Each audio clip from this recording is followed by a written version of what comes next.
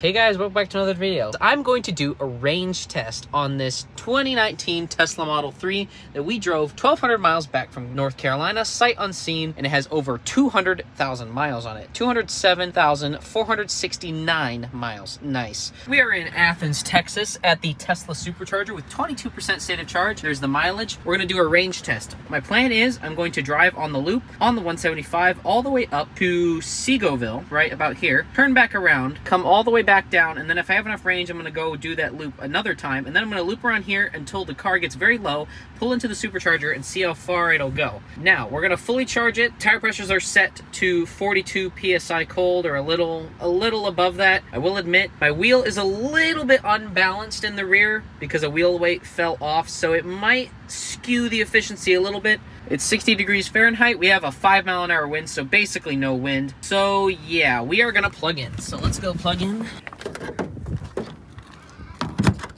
Charging, and yes, I have installed a tow hitch, but that will not affect the range. That will not affect the range. 140, 50. So we are gonna charge this to 100% where it clicks off supercharging.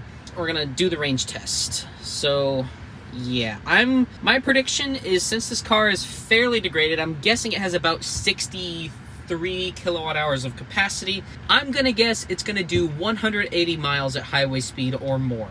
That's my prediction. It might be a little less. We are gonna actually run 68 degrees on auto, which I don't normally use auto, but we will use auto for the range test. No heated seats, no nothing like that, no fancy stuff. So here's a little bit of information about the car. This is a 2019 Tesla Model 3 long range all wheel drive with the 19 inch non-aero but sport wheels. So not the most efficient configuration. The most efficient would have been the rear wheel drive with the aero wheels, but that's not what this car is. But I also wanted the all wheel drive because what I'm going to be doing to it involves all wheel drive. Charging is complete. Tesla Theater down. Let's do crap. Uh, trips and then do uh, not that. Do this trip A. Uh, we'll rename this to range test. Reset that. So we're resetting the range test, and we added 48 kilowatt hours, and we started at 21%. So let's see. We're gonna head down towards Seagoville. Yeah. So let's uh, unplug.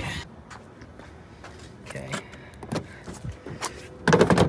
Trip is reset, car is unplugged. 68 degrees auto. We're gonna put the car into chill mode. Charging limit set to 100. Controls, trip is reset. I'll check that again. I'll just reset this double to make sure. Uh, we'll turn Sentry mode off. All right, let's go. We are in chill mode to save maximum energy. So the regenerative braking is limited because the battery is fully charged. You can hear the fans cooling the battery, probably burning some energy here. I'm gonna try to drive extremely gently. I do not want to waste range. Now there is a section on this drive that is 55 miles an hour. I need to check with GPS verification that it that 70 is actually 70. I think I think 71 is 70. I could be wrong.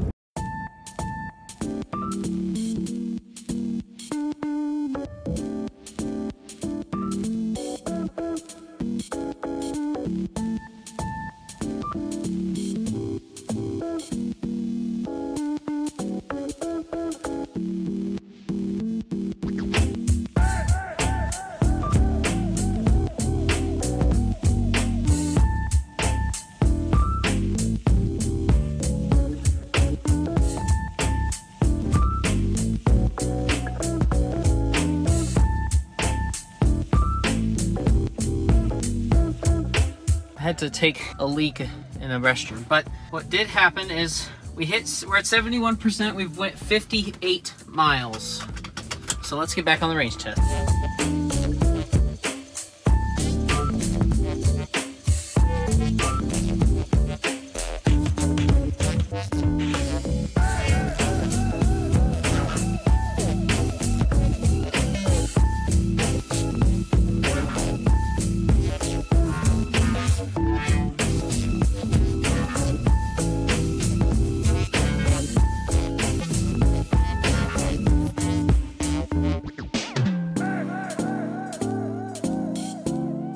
We are at 50% state of charge. We've traveled 97 miles, used 28 kilowatt hours, and we have done 280, or we're doing 289 watt hours per mile. Uh, so fairly good efficiency.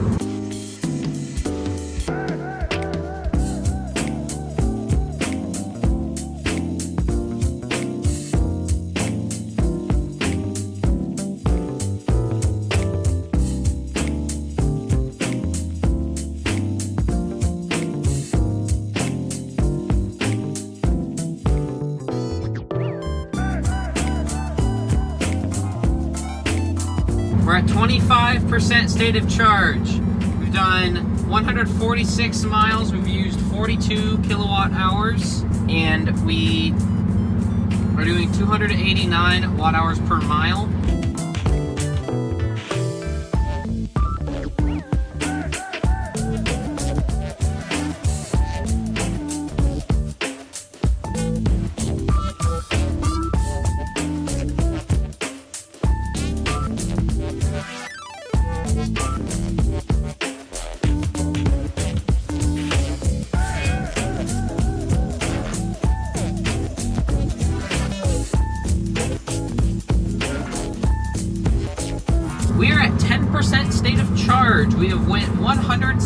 174 miles, burned 51 kilowatt hours, and have are doing 291 watt hours per mile.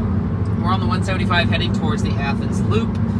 Um, my plan is 3% is estimated to the Taco Casa, which is the gas station with the supercharger.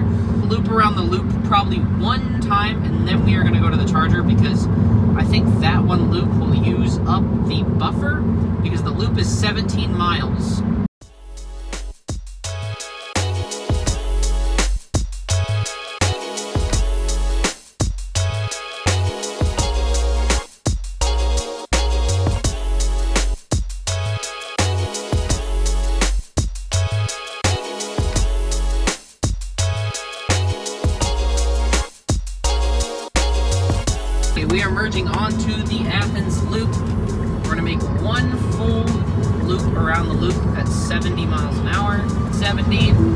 5% state of charge.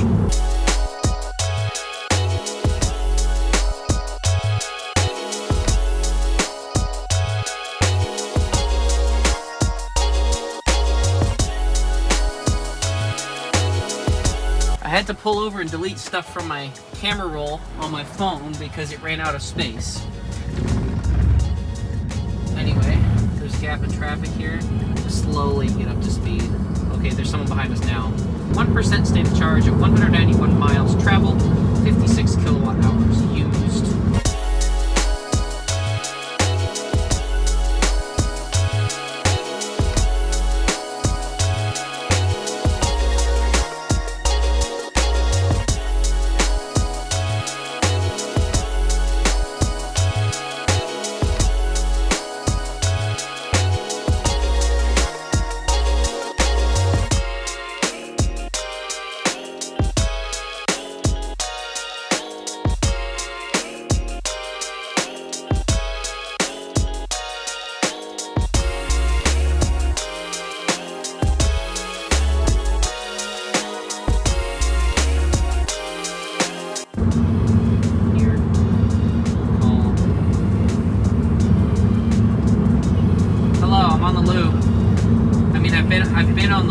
While, but uh, I'm on the loop, but I'm on like the wrong side of it to get to the supercharger. May make it, we don't have to come pick up the trailer. I think we're gonna get on top of the trailer.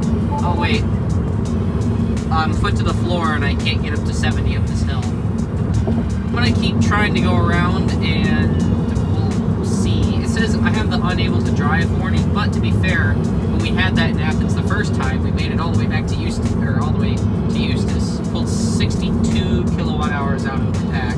We'll see what we're doing. Uh, okay, you might want to get the trailer because I have no power now, or just barely. I'm doing 63 and I'm petered out. The trailer. Yeah,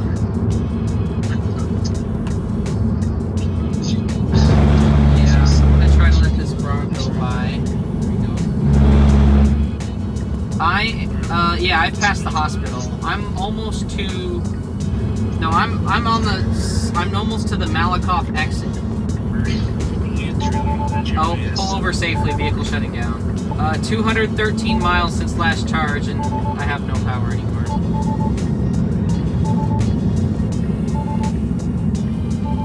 Oh, yeah, it's not,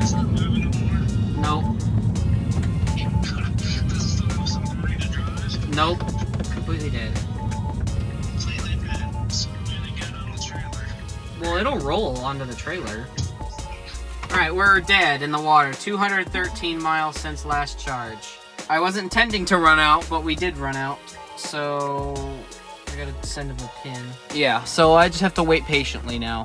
So the car died. I think we did 213 miles at uh, close to 70. Yeah, 213 miles pulled 62 kilowatt hours. Uh, 291 watt hour per mile. So says a 62 kilowatt hour battery, which means the degradation is, I think, about 18% or something like that. That's just me mental mathing it. It could be more, it could be less. But for 200,000 miles, that's not too bad at all. That's more capacity than a standard range Model 3. So, yeah, but 214 miles of real world highway range on an old Tesla, I think is pretty good. So you can see on this map here, we actually open up Google Maps itself, that we died here in the loop and the charger is over here at that Taco Casa. So we died on pretty much the exact opposite side of the loop we needed to be on. Well, here's my rescue truck.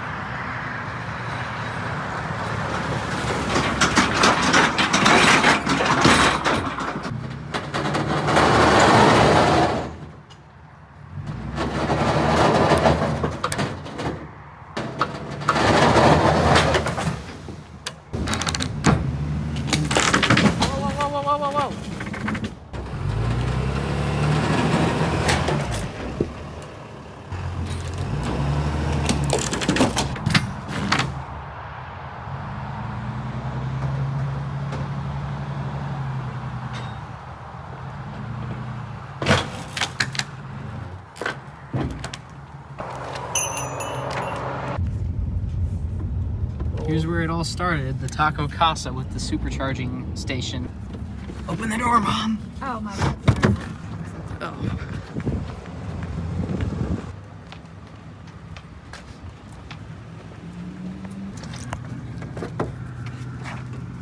Oh, yeah, perfect. Will it open? Uh-oh. Open. There we go. Charging. Yay. Let's see what it pulls as far as kilowatt goes. Well, the screen is incredibly dim. I can't even tell. It did not precondition, so 123. Yeah, but we did 213 miles, 62 kilowatt hours used, 290, one watt hour per mile. Pretty good. Obviously, you can see right here. That's probably when I was letting off the throttle to charge it, but yeah, juicing up.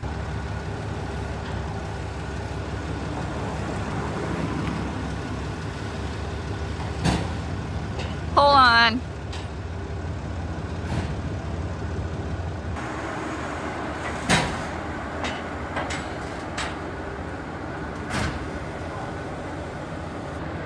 Gotta get out of the way for the Model S. Yeah, it's wanting to charge.